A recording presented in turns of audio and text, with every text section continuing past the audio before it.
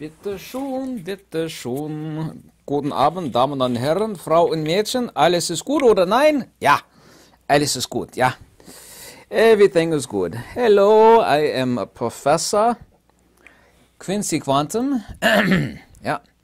PhD, DDS, and uh, Esquire. Uh, graduated from the University of Dusseldorf. Yeah, I changed my name upon entering the uh, United States. My original Deutsche Name is Gunther Wolf Schlegenstein Horsenbergendorf. Very small name. Yeah, like to talk about quantum, quantum mechanics. Yes, to phase into my English voice. Yeah, makes it easier to talk and communicate with. Uh, you Native Americans, yeah? there we go. I can get away with this because I'm half German, by the way. Talk about quantum and how logical quantum is.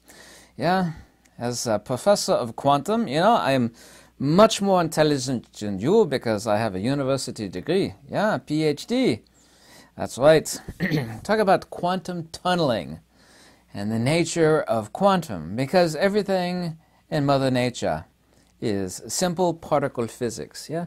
And the things that are too hard for you simple, unintelligent uh, earthlings to understand, yeah, is quantum. We have to use this word because it is beyond your understanding. We can talk about conventional things of physics, you know, how heavy something is, its mass, its weight, yeah. Force equals mass times acceleration, simple stuff. But when it comes to talking about the nature of cosmic mechanics, it is a completely different science. It is the science of GR, which of course has evolved into Yaul, into quantum. Yeah, I have to talk about quantum tunneling effect because all phenomena in nature, like this uh, fire I have on the screen, this is a, a physical uh, explanation of wood burning. You know, it has been set aflame, but in reality, in GR and uh, as a PhD in quantum. This specifically is a quantum field effect. Yes, quantum waves are happening here, and uh, also to the exchange of virtual photons. Like between two magnets, yes, people think that there's a field, well, there is a field. But what is really going on is the exchange of virtual photons. When two magnets get near each other, yeah, according to general relativity and quantum. And this is accurate, mind you, because of a PhD in general relativity and quantum mechanics.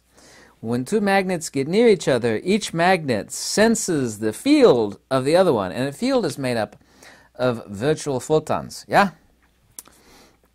They send out virtual photons to each other, thereby communicating whether they are a like polarity or an unlike polarity. Now, if they're like polarity, then the virtual photons push against each other, and this is what is conventionally called, to you lesser human beings, magnetic repulsion. Uh huh. But if uh, the virtual photons that are reaching out to one another, because that's what a magnetic field is, now we use the word field for simple earthlings you know, to communicate simplex things for matter of conversation. But what is really going on in the case of magnetic attraction is the virtual photons are agreeing that they're moving in different directions and then they therefore accelerate. This is magnetic attraction. Yes? What is also, too, going on, and is really hard to explain to common people because you have to have a PhD to understand this because nature is not simple. I've seen many videos, yeah, on YouTube that uh, tried to say that Mother Nature is a really simple chick, but she's not. She's actually extremely complicated. She has a lot of tricks up her sleeve. Up her sleeve. What is going on is quantum foam and quantum entanglement paradox. You have a quantum paradox of instantaneous action at a distance, which Einstein himself called spooky action at a distance. Jawohl. Yeah, and what is going on in this quantum paradox of quantum entanglement is the exchange of virtual photons at the level of this quantum tunneling effect. Yes, yeah, yeah, yeah. but without a PhD from university, you haven't got a chance of understanding this. Yeah, it's just it's it's a little bit beyond your capability of understanding, as it is the case for most people. Yeah, so so The simple truth is, in the case of a field, or like magnetic fields, or uh, magnets accelerating or pushing against each other, is the exchange of virtual photons. This quantum tunneling effect is uh, so simple, but it requires you to understand quantum, which of course requires PhD and many, many, many years of study at university, like me, at the University of Dusseldorf, yeah, because you can't understand it without that, yeah. It is very simple. But it's only simple after many, many years of university and also too at least four years of postgraduate work. Yeah, yeah. So Mother Nature really is simple, you know, at the subatomic level, beneath that of the proton and the neutron, you know, we have, of course, quarks. And this is highly logical because in academia, in uh, my field of GR and quantum, general relativity and quantum, you know, it is so simple. You know, there's only six different types of subatomic particles or quarks. There's up quark, a down quark, a charm quark, a strange quark, a top quark, and a bottom quark. Now, depending on your proclivities, you could identify as a top quark or as a bottom quark, but these are the six different types of quark. Yeah, let me hold on a second while I think back to my postgraduate work and exercise my neurons.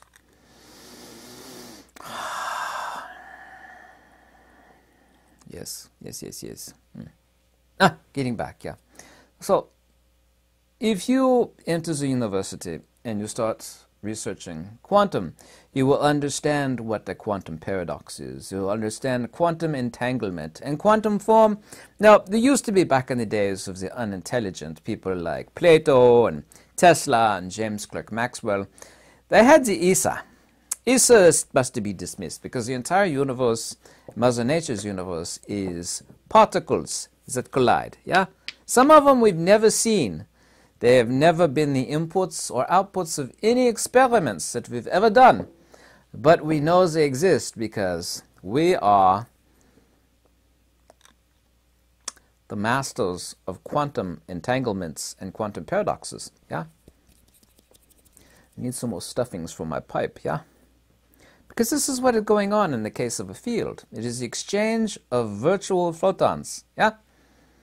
This is what is going on. It is so simple. I mean, you must have a higher education to understand quantum waves and the virtual photons that are going on at the paradox level of time traveling quarks and virtual photons. Yeah? If you don't understand it, it's a quantum paradox. But this is also too very logical. Yeah?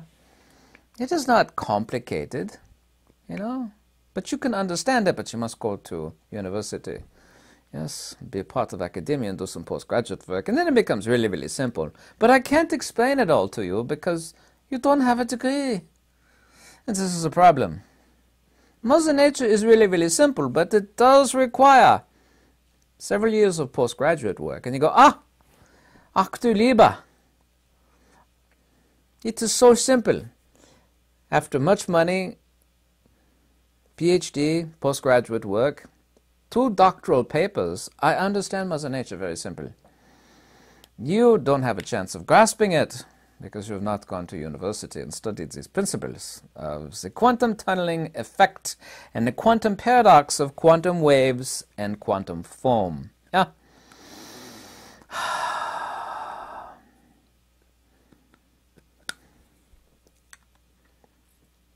Trying to make this more simple for you. Yeah. How can I make it more simple? In the case of curved space-time, yeah, fields are interacting and they're communicating with each other. Like say there's only two bodies in the universe, yes? And they're getting closer to one another, yeah? What they are doing is they're sending out communication via virtual photons. And when these particles meet each other in deepest space, they communicate that space must be bent. Yes? Time and space are bent when virtual photons between two bodies reach out to each other. And they say, I'm getting closer to you. Bend your space around me. Take me into you. Yes, and so space is bent.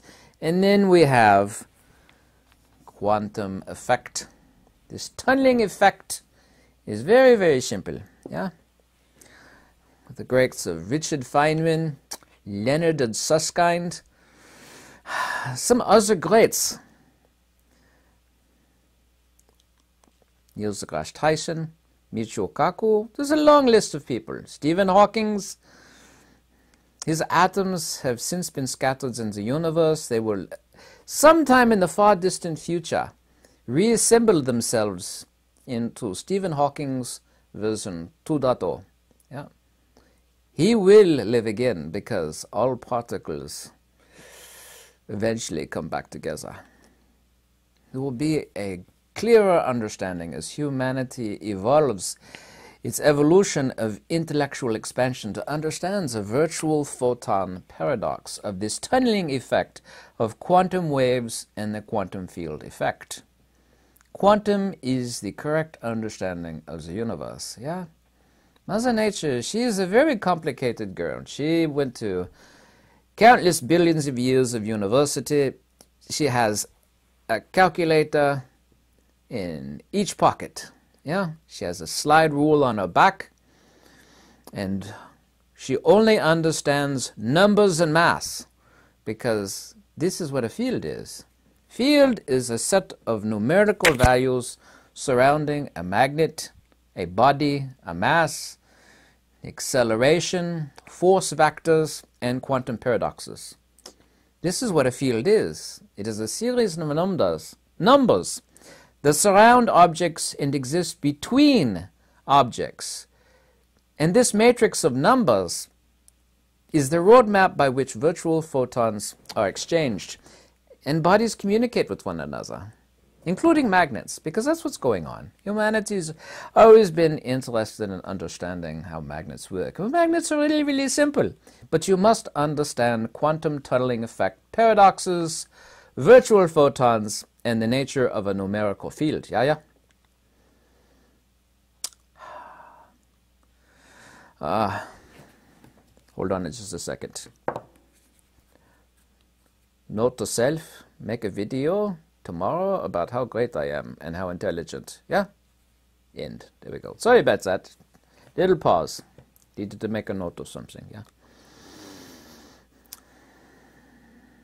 quantum foam is such a beautiful, beautiful concept. Only Mother Nature could come up with this. Hmm? Us mathematicians and PhD professors of mathematics and quantum understand that quantum is the fabric of the universe, yeah? Warp space-time, the exchange of virtual photons, and the quantum tunneling paradoxes and quantum entanglements that exist in the cosmos. Just the thought of the incredible complexity of the universe and the fact that it requires a PhD from academia and postgraduate work to understand it, it makes me spine tingle oh! with great excitement. I feel so much better knowing that I have this mental acuity that has been trained to me from the University of Dusseldorf to understand that which the mere mortal could never understand. Mm-hmm, mm-hmm, mm-hmm, mm-hmm. brilliant, very, very brilliant. Mm. I hope I understood in explaining to you, most simply, the nature of what quantum waves and quantum field effects are. Understands that all bodies send out like a shower of glitter virtual photons, and that is how bodies communicate. They communicate, I am near you. Bend your space-time to accept me. Yeah, that's how bodies communicate. This is also the way magnets communicate. They send out virtual photons. They meet each other. They say, Guten Abend or Guten Tag or Guten Morgen, possibly so, yeah? And they say, bend space-time, I am getting near you. Yeah, this is what happens between magnets and heavenly bodies. This is the gravitational force, and gravity is a force, yeah? It's not an acceleration, yeah? People like to use the word field, but field is a layman's term. Us experts of academia understand that we must talk in the lexicon of quantum.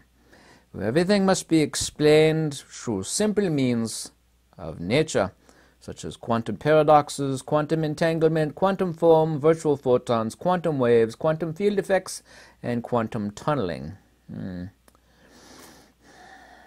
All of this requires deep, deep, deep understanding of mass, and also, too, that all field communication is the exchange of and communication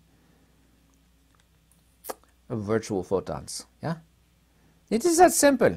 It's so simple. I mean, anybody with a PhD and four years of postgraduate work can understand it. Yes? I'd like to explain these things and what quantum actually is, but I don't think you have the intellectual capacity to grasp it. For me to define what quantum is and its relationship with nature requires a PhD. I'm not authorized by academia to give you this. You have to sign up for university. You know, $100,000, $200,000 later, four years, PhD, postgraduate work, then you understand. Then it becomes abundantly clear what quantum is. Jawohl! Jawohl! Jawohl, indeed. Mm. Yes. Mm. Mother Nature, she is so beautiful in her complexity. I love how complicated she is. She is a tricky girl. Mm. Just thinking about how complicated Mother Nature is. This gives me a tingle. Yeah? Well, I'm going to end it for now. Yes? So.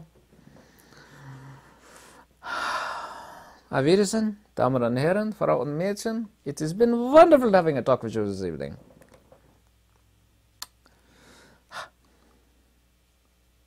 Guten Abend. Guten Abend.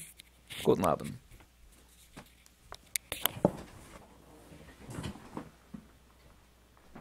Bitte schon, bitte schon.